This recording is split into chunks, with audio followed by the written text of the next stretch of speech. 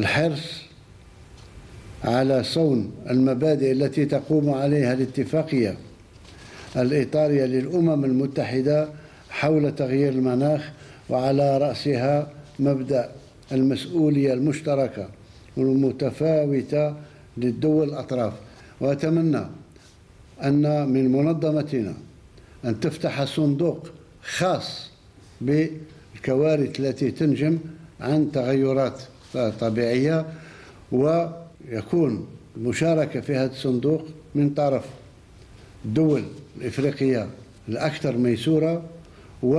وكذلك من طرف بمساعدة من سيد الأمين العام للأمم المتحدة ومجلس الأمن وكل من يهتم بالتغيرات المناخية أن يصبوا